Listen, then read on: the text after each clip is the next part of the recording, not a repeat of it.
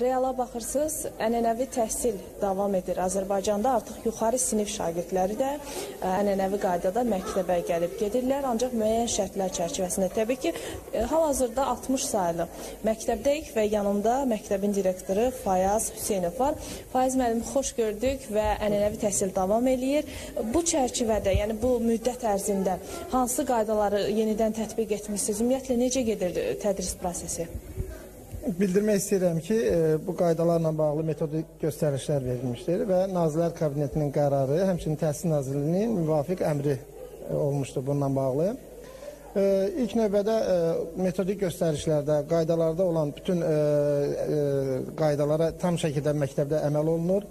Bu məktəbə uşaqların daxil olmasından tutmuş, ta uşaqların sinifdə əyləşməsinə, müəyyən tənəffüs zamanı özlərini aparma qaydalarına, növbətçilik e, məsələlərinə və ümumiyyətlə sanitar epidemioloji vəziyyətin tam nəzarətdə olmasına qədər tam şəkildə nəzarətimizdədir. Üzrstəm elə əyani şəkildə hal-hazırda operatorumuz göstərəcək. Burada 8-ci sinif şagirdləri eləmirəmsə dərs keçirlər.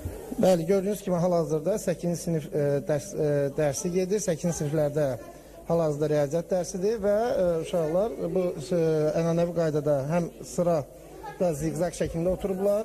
Həmçinin 1,5 e, e, metrlik ara məsafəsi tam e, salam uşaqlar əyləşin. Tam şəkildə riayət olunur qaydalara. Bundan başqa tənəffüslərdə mütləq şəkildə otaqların havalandırılması həyata keçirilir. Digər məsələn spirt və digər məhlullar mövcuddur ki, uşaqlar onlardan vaxtaşır istifadə edir. Həmçinin bu pedaqoji heyətə də aiddir. Pedaqoji heyət tam şəkildə deməli dərslərini keçərkən də bu ara məsafəsini sinifdə də nəzarəti tam şəkildə əllərində saxlayırlar. Ə, və bayaq da qeyd etdiniz ki, bu siniflər bölünür yarım qruplara, çünki əsasən Rus sektorunda deyəsən çox şagirdlər var, ona görə də bölünürlər. Ümumilikdə belə götürəndə yalnız Rus sektoru deyil, Azərbaycan bölməsində də sayı 20-dən artıq olan, ə, həmçinin sinif kompleks, sinif otağı əgər buna imkan verirsə, onu sinif otağının ölçüsü imkan verirsə, və yaxud da ki, ə, uşaqların sayı daha çox olanda həmin siniflər birmənalı şəkildə iki qrupa bölünür və onlar həftədə iki dəfə olmaqla qaydalarına riayət olunur, dərsə gəlirlər, dərslərdə iştirak edirlər və gördüyünüz kimi bu sinif hal-hazırda iki qrupa bölünən siniflər çərçivəsində daxilindədir və onlar ə, digər qrup isə indi həftədə belədir. Birinci, üçüncü günlər bu qrup gəlirsə, ikinci, dördüncü günlər digər qruplar dərsə cəlb olunur və beləliklə də uşaqlar arasında sıxlığın qarşısı alınır. Hı -hı. Digər sinif otaqlarında da eyni ilə tədris prosesi davam edir.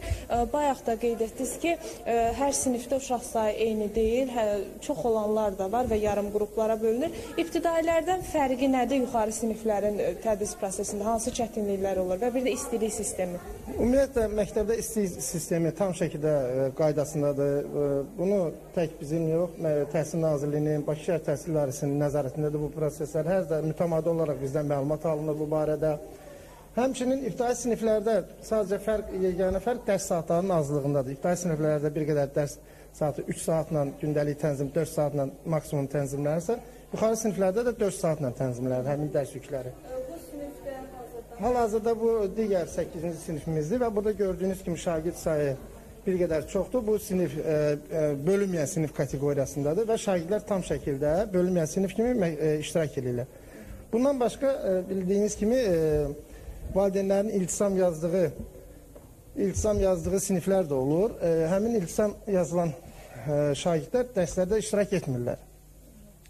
Və təbii ki, valideyn narahat olursa və yaxud da hər hansı bir vəziyyətlə bağlı narahatçılıq keçirirsə, onlar iltisam 2 deyilən bir forma imzalayırlar və formaya müvafiq olaraq bildiyiniz kimi şagird dərslərdə iştirak etmir.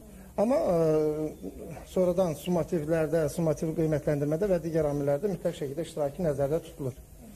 Təşəkkür edirik belə dolğu məlumata görə və uşaqlara da çox mane olmadan biz artıq yekunlaşdıraq e, və qeyd edim ki, hazırda paytaxtın 60 saylı məktəbindəyik. Burada da ə, e, koronavirus ə, tədbirlərinə riayət olunmaqla ənənəvi təhsil davam edir. Xəbər olan tələbatınızı real ödəyin.